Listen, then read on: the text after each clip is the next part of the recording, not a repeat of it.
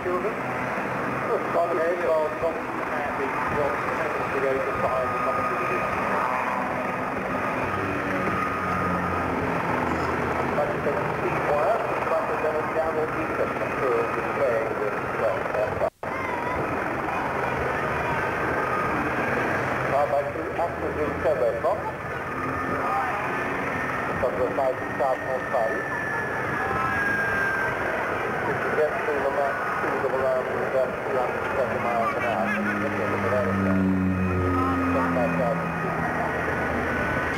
Then cover the 2040. And the rest of the start get pilot signal light.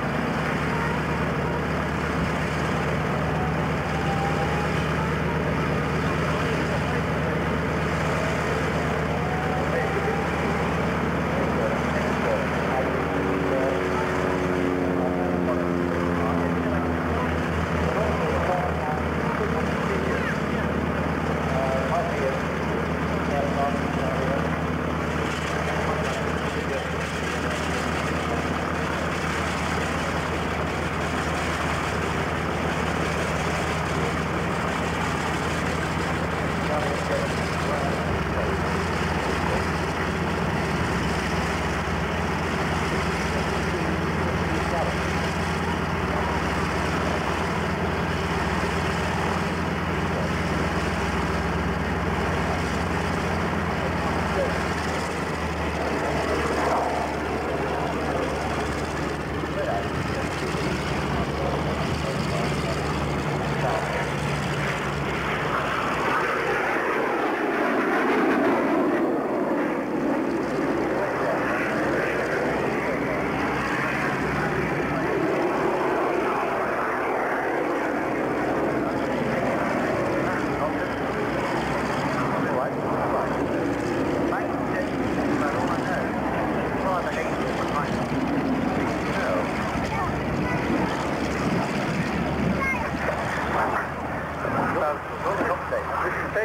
I am now, thank you. Basically what you said was PID operation. I, you know, I just, want to be right.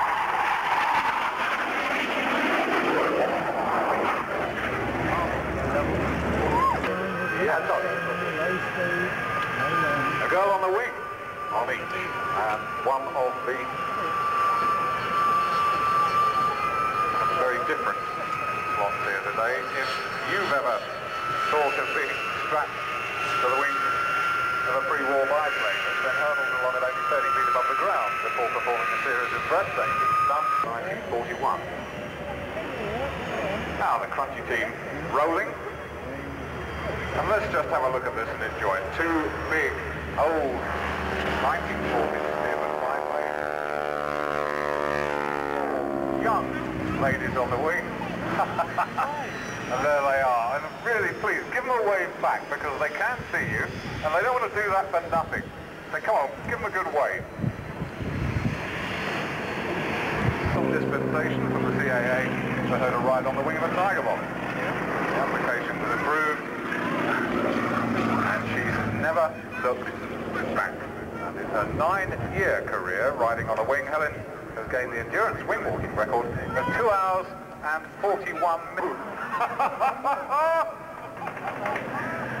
now, it's a bit bumpy there today, so I'm not sure how close they're going to be, but Helen has said that at one point they got close enough for Sarah to see the expression on her face, even though she wasn't wearing her glasses.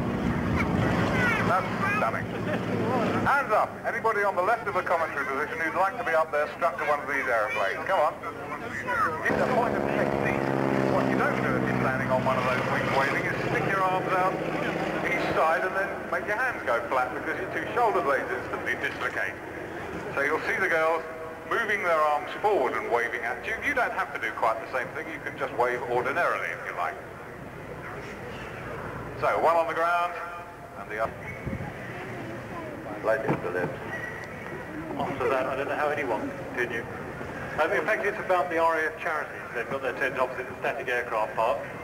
The special cover signed by eight Battle of Britain pilots is on sale. Proceeds go to the Royal Air Force Association Eagle Lodge Appeal.